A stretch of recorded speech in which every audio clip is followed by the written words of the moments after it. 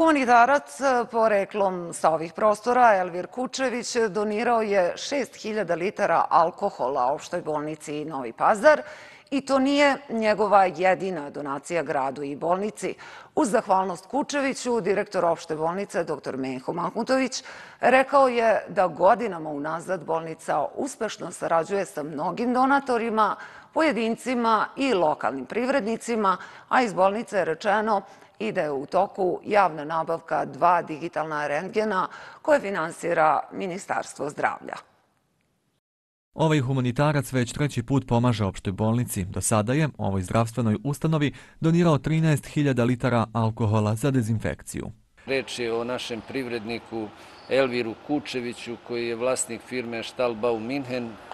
On trenutno živi i radi u Pančevu. E, donirao je sad 6000 litara alkohola, to je 6 tona alkohola, ovo je treći put da on donira. E, Prvi put je dao 3000 litara, pa je onda dao 4000 litara i sad evo treći put je dao 6000 litara. Vredna donacija, ovo će koristiti za ove tunele koje mi e, spremamo za, ne daj Bože, neki novi talas.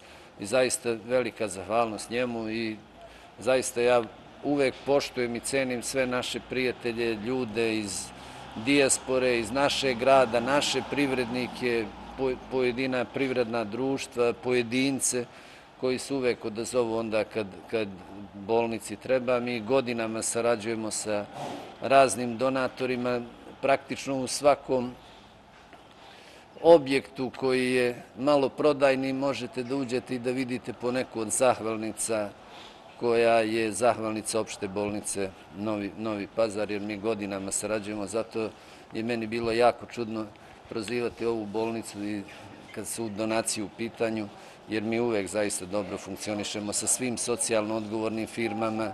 Mahmutović kaže da je opštoj bolnici Ministarstvo zdravlja odobrilo svaki zahtjev za trebovanje medicinske opreme, pa je tako nedavno raspisani tender za nabavku dva digitalna rentgen uređaja. Reč je o najsavremenijim rentgenima koji su praktično tek instalirani u nekoliko bolnica po Srbiji. E, javna nabavka u toku, vrlo brzo očekujemo da se to završi, bit će instalirani ovde kod nas. Digitalni su rentgeni mnogo lakše za rad, e, lakše za e, za doktore koji će tu raditi.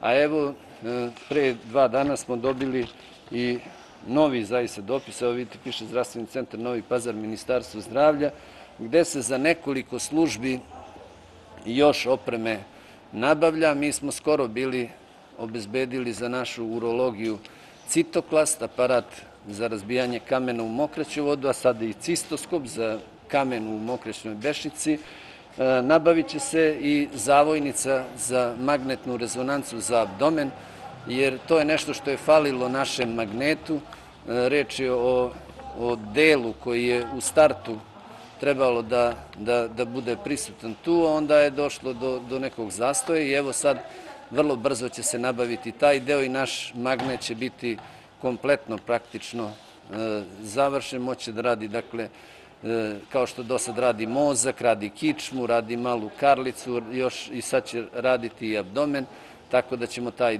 deo zaokružiti. Dobili smo još neku opremu za očno odeljenje za merenje očnog pritiska, onda ne znam, za službu patologije, za službu fizijatrije, za ORL, takozvanu gluvu kabinu sa onim hladnim čeonim svetlima. On je dodao da stalnu nabavku opreme mora pratiti i usavršavanje kadra, pa je tako povećani broj specializacija.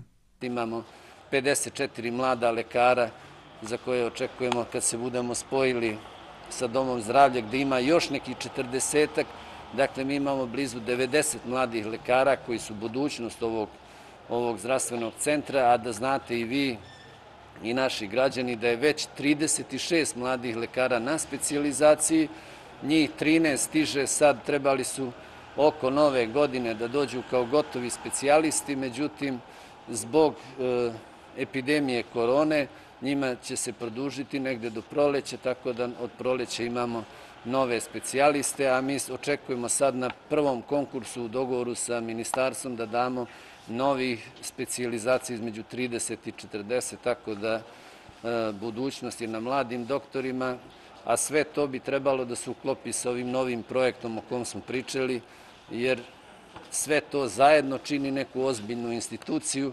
niti zgrade bez lekara mogu nešto da znače, niti lekari bez grada i opreme bilo što znače. Prema riječima Mahmutovića u opštoj bolnici intenzivirani su radovi u mnogim dijelovima, sprojeden centralni kiseonik i jasno odvojene zone, a sve sa ciljem da se pruži adekvatna medicinska pomoć i olakša svakom pacijentu i medicinskom radniku u slučaju novog talasa koronavirusa i velikog priliva oboljelih.